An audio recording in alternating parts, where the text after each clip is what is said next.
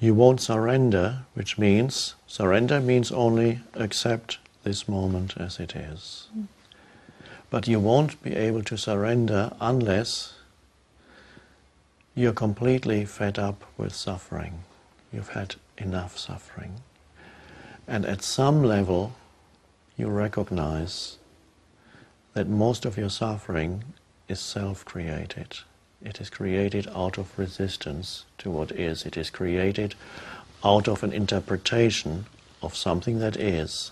It comes from a thought, from an interpretation, not from the situation. So you realize really that I've had enough suffering, and only uh, when you've truly had enough suffering in your life are you able to say, I don't need it anymore. Suffering is a wonderful teacher. Suffering is most people's only spiritual teacher. And suffering deepens you. It gradually erodes the mind made sense of self, the ego.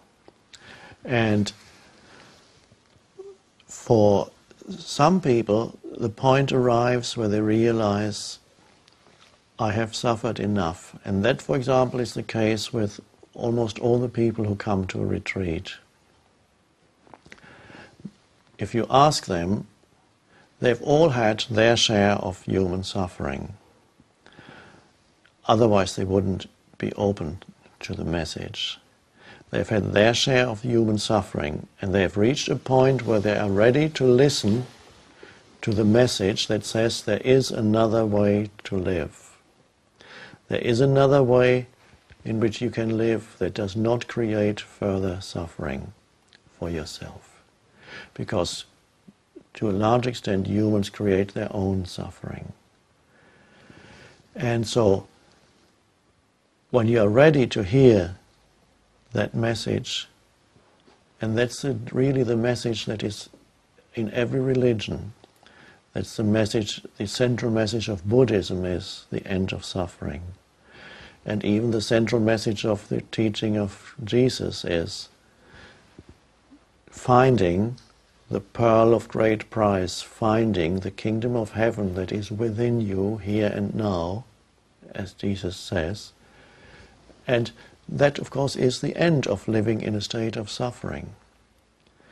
So, one could say that you need suffering for you to realize, for you to come to a point of realization that you do not need to suffer anymore. There's a paradox here. If I had not suffered, I would not, this teaching would not exist. So you could say it has come partly as a result of intense suffering because as a human being, I would not have evolved spiritually if I had not suffered. So suffering was my main teacher, and suffering is for many people their main teacher. But then there, some people are, when they are ready, they come into contact with a spiritual teaching or teacher, and that can speed up the process of realization that you don't need to suffer anymore. You're ready to hear that. So that was, the Buddha talked about nothing else already 2,600 years ago, that there can be an end to self inflicted suffering. And when you don't inflict suffering on yourself anymore, and remember, it's the, it's the thoughts. Your thoughts make you suffer more than anything else. It's not usually the situation, it's your interpretation of the situation, of how dreadful it all is. And so when you see that, then you see there is another way to live in which I no longer mentally argue with what is. And that's the end of self inflicted suffering. And if I no longer inflict suffering on myself, I no longer inflict suffering on others because the two go together.